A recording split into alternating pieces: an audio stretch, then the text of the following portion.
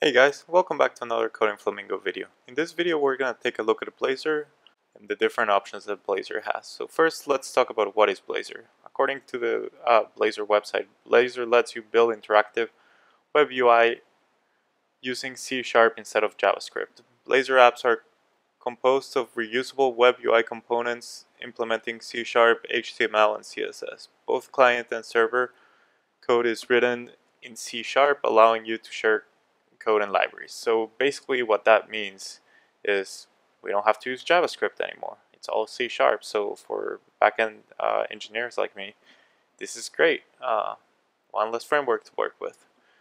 So a year ago, Microsoft released Blazor Server, and in that iteration, everything ran on the server and got rendered there. And um, this week, they released Blazor WebAssembly. So let's look at that and then the different options we have. So to create it, we are creating a new project in Visual Studio. You have to have the latest Visual Studio, which is 16.6. So let's just create an app.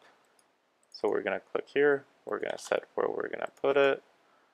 Uh, this one eventually is going to be the app that uh, they did in Silicon Valley, where it's whether a hot dog or not. I, they call it seafooding there, so let's just call it dog app and we're just going to create it.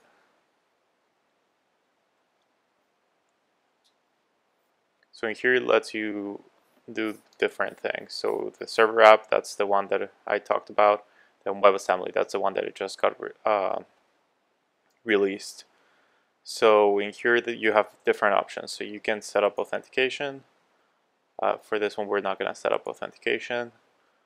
Then you can have uh, that it's a static website. So basically, you can run it. You, you know, you, you throw the files into an S3 bucket or an Azure Blob Storage or an Azure Static website, and it's just like a single page, no compute on server uh, page. We don't want that, so we're going to click the ASP.NET Core hosted, and then we're going to click at a progressive app just so we can see what that is. So basically, progressive app makes it that you can download kind of like the web app and run it as a native app, which is really cool. So let's go ahead and create that.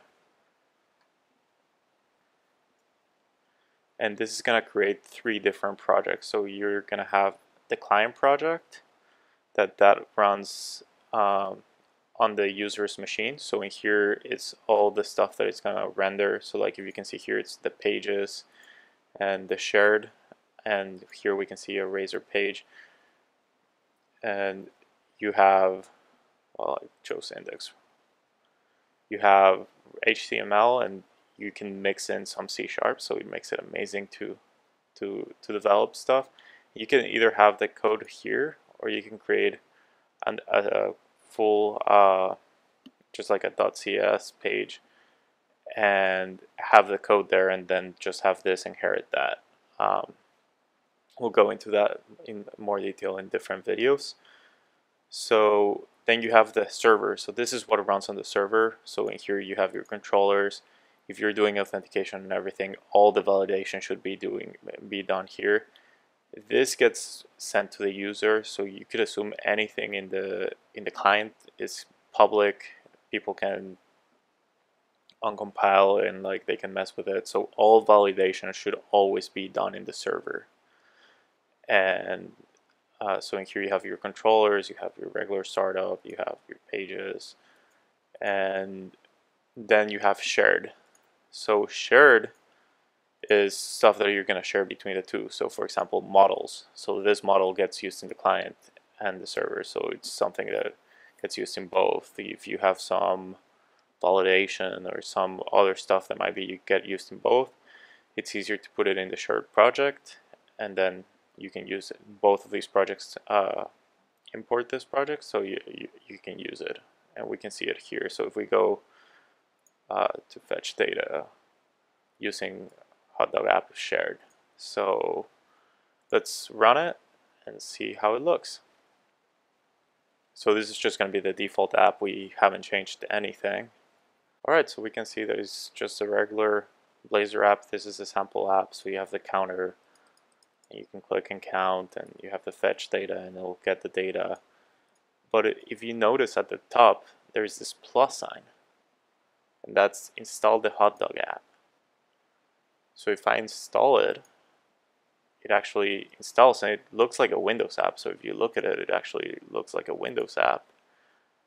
And uh, like if I look for it it's here I can pin it to my taskbar can do everything. So like for example like I'm just gonna close it and open it up again and it just opens. So you could have it be native and it gets installed on cell phones as well. So like it, it can look like an app.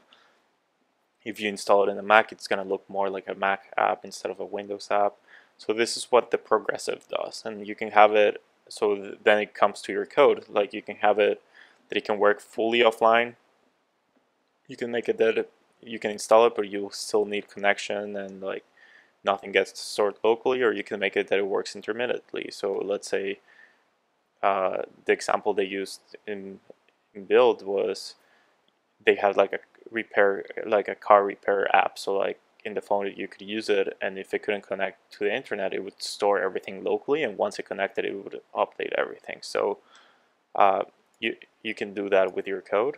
So that's basically it. This is the first look at Blazor web apps. In the next videos we're actually going to look at ml.net and we're keep uh, building this app. So thank you for watching and I'll see you in the next one